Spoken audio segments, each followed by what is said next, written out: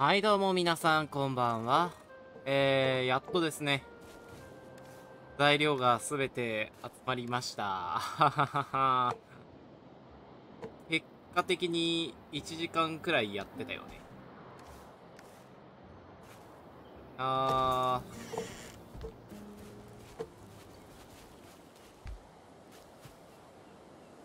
どうにかこうにか全部材料が集まりました。まだに捜査官自体はそんなに慣れてない。まあこれで、えー、川のなめし台が作れるようになったので、設置していきましょう。あのね、普通にね、あの、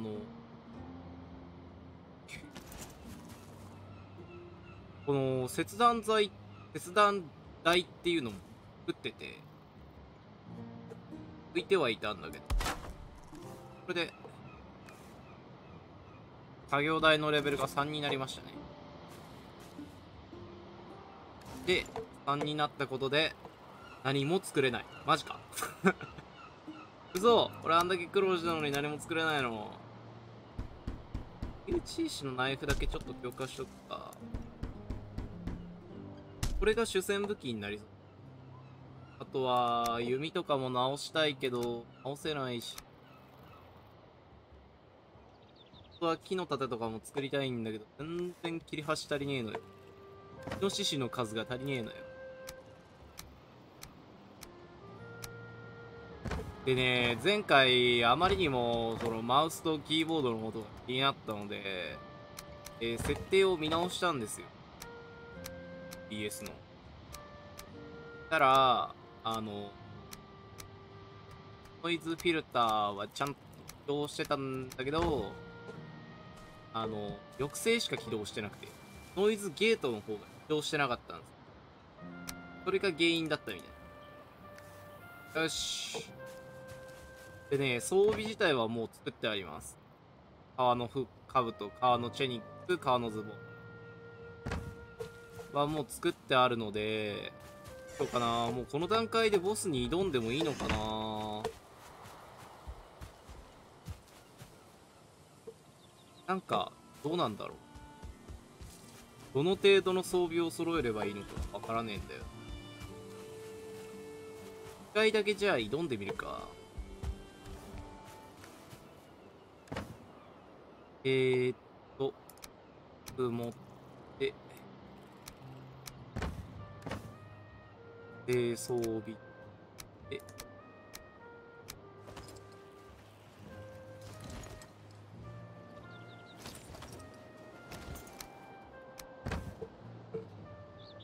ゃんとした装備になったんじゃない？こいつ目怖いんだよな。俺のキャラだけどさ。約ゲーム時間内で1週間と1日経ったんだよね。もうね。一番最初のボス倒すのに1週間かかるっていう感じなんです。まあでは、一旦ボスに挑んでみましょう。ちょっとね、弓耐久度が心もとないんだよね。ここだけ不安なんだけど、まあいけないことないでしょう。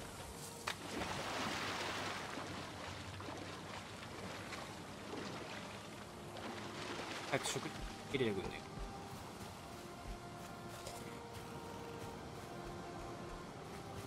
ああ、どの程度強いのかわからん。まった。そうだ、いろいろと持ってくものがあるんだった。ね、生贄みたいなのを捧げろって言われてで、その生贄を捧げるのに、あの、今まで乱獲していた鹿ですね。の装備が必要になってくるわけ。よいしょっと。えー、いいじゃねえ。あの、これ。あの、トロフィーかなこれが確か3つくらい必要になるんじゃなかったかなまあ、とりあえずあれだけ持ってっていらない分はその場にポイっておいて。とりあえず行ってみましょう。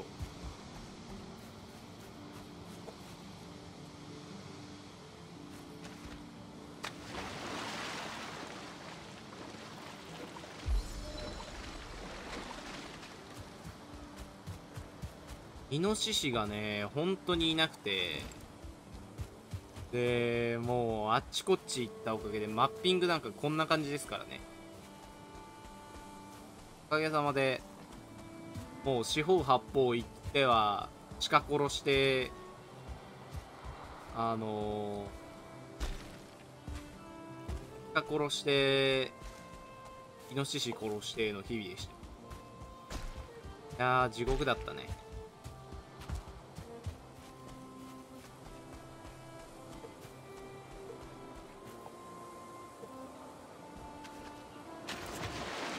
井内石のそうだねナイフも強化できたしある程度ガードとかちゃんとして HP 危なくなったら逃げてっていうのを徹底すればなんとかなりそうな気は気がするだけです。なんとかなるとも思ってないけど。でも休息の効果あるわけであの HP の回復量が多くなってる。りあえずこいつらで試してみる。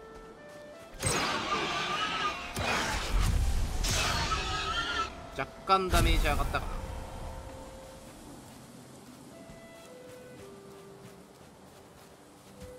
な。よし。行きましょう。ここに触れるとね彼の親族を枯れって出るんです。なのでここに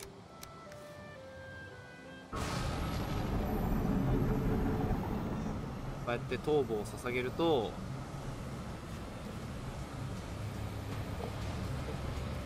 あ1個でよかったパティーンのやつだ。さあ出てきました。エイクスルです。あ重い重い重い重い。しかも痛い。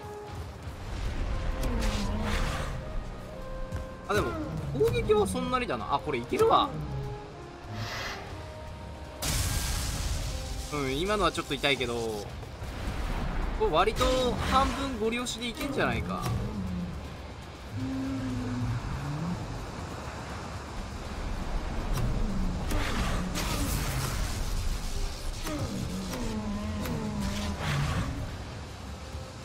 なんか強化してきすぎたかな。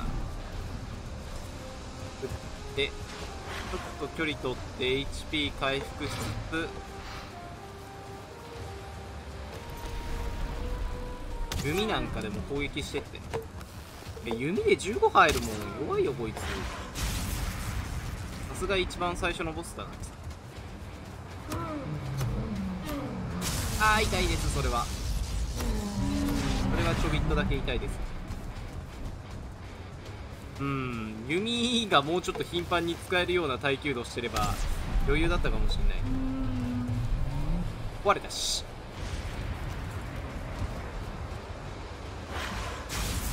あ本当は盾とかも作ってくればもっと余裕でいけたかな。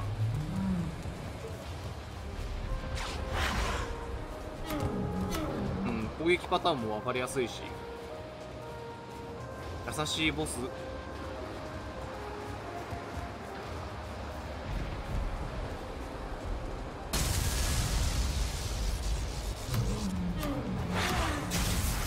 ほいていていていていてええけど HP50 くらいになるまではこうやってゴリ押しで HP 削っていきたいな。逃げるな卑怯者。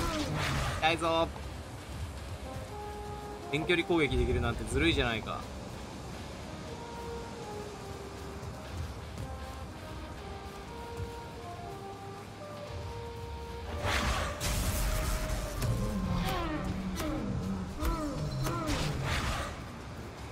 スキルもなんだかんだ16まで上がってんだな。これは強いわ。これダメ。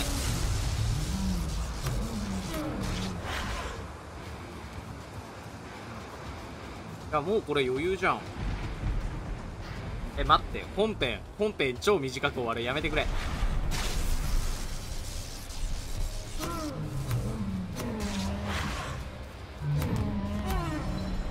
ああなんだもうちょっと苦戦してあこれ装備整えないとダメですねみたいな展開を期待してたのになんだこのこけ落とし感は。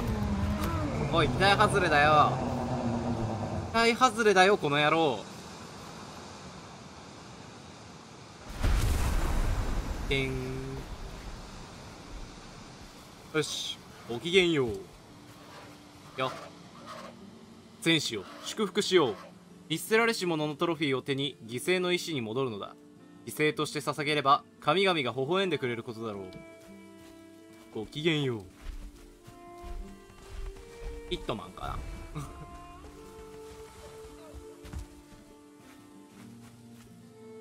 これもしかして連続で戦えんのかな。あいけそう。やばい。やることのない無駄なことをやろうとしてる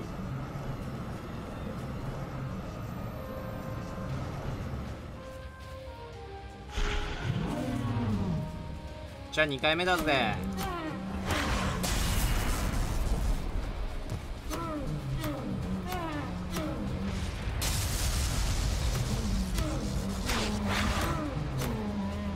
なんかさこいつの素材でツルハシみたいなの作れそうだったじゃん。この素材を集めるっていう点でもまあ狩るかとりあえず買っとくか。やっとくか。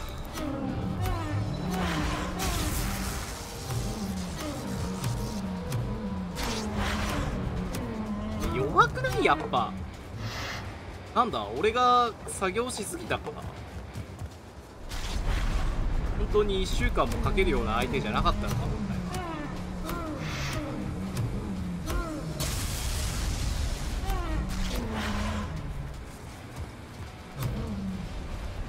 なんとなく時間かけすぎだなとか自分で思ってたけど。それにしても弱いな。ゴリ押しで勝てちゃうんだが。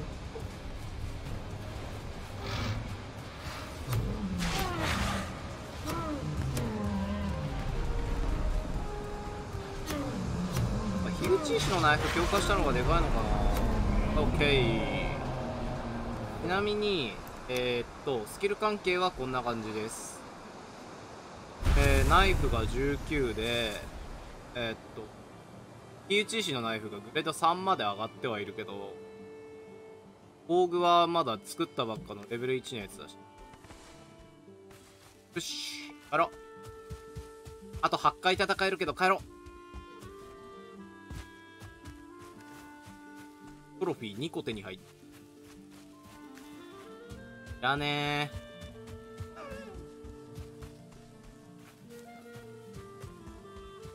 ー。あでも早くすればそってかあれだね。あのボス系って何回も戦えるんだね。1回戦ったら終わりとかではないんだ。でも1回戦って終わりだったらそっか。ツルハシとか作って壊れた時直せなくなっちゃう。よ。っ地味に遠いんだよここ。点からさあまりにも離れてです走るのが辛いよね。スキル関係もだいたいよく使うのは20まで上がっちゃってるんだよね。20近くまで。木の伐採とかさ木使わないのに木切ったりしてるからさ20いっちゃったしさ。泳ぎもいつの間にかレベル10とか。忍び歩きはまあ鹿殺すのに上がっちゃったやつだからあれ。武器なしが11とか。上げすぎかな？縦は上げすぎかな？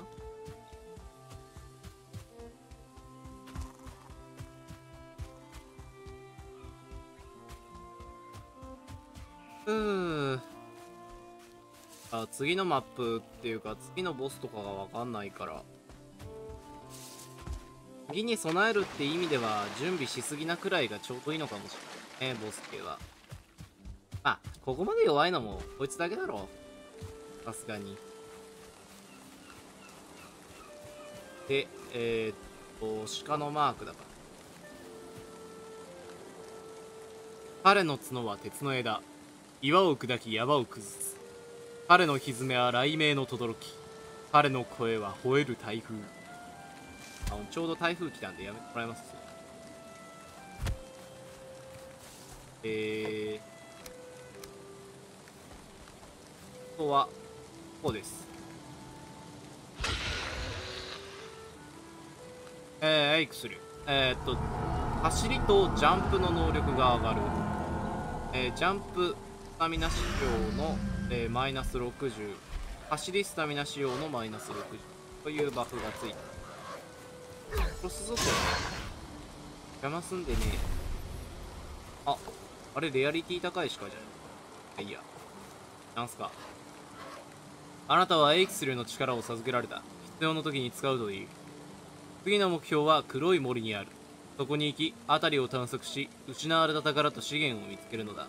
長老が待っている。うるせえ俺は俺の好きなように。やる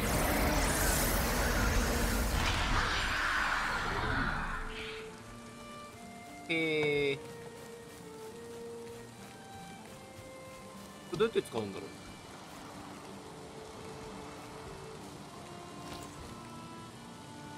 う。うん。了解。FT ですね。あすげえ。超スタミナ減りづれ。これ移動の時めっちゃ便利じゃん。あ戦闘向きではないにしても。移動の時すっげえ便利だな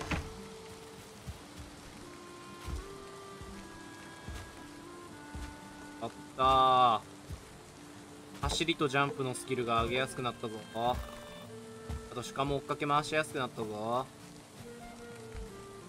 例えばね家ここ屋根つけたんですよ。今雨降ってるけどさこの雨降ってる状態だとここの火が消えちゃってさベッドが使えないんですよ。っていうのがあったので、えー、ベッドを使うためにここだけ屋根をつけよう。ここもドアつけたんだよ。あただ本当にここのあれはえー、予備予備っていうかあれだよ。ね今軽く使うためだけにあるから。あこれでツルハシも作れるようになったぞ。作れるようになったっていうか作れたぞ。もう完璧じゃない？あとはじゃあ次回黒い森を探しに行きましょう。なんかいるぞあそこ。ツルハシを作った。黒い森には多くの鉱物がある。地面には銅があり海岸では鈴の連なりが見つかるだろう。さあ行って地面を掘るのだ。あーじゃあそっかどの道？黒い森にと銅とかが手に入るからそのために必要なんだね。そうだははーん。了解しました。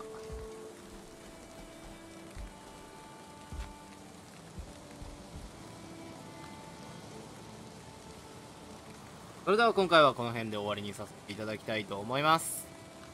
えー、まあそうだね。今言った通り 次回は黒い森に行きましょう。ありがとうございました。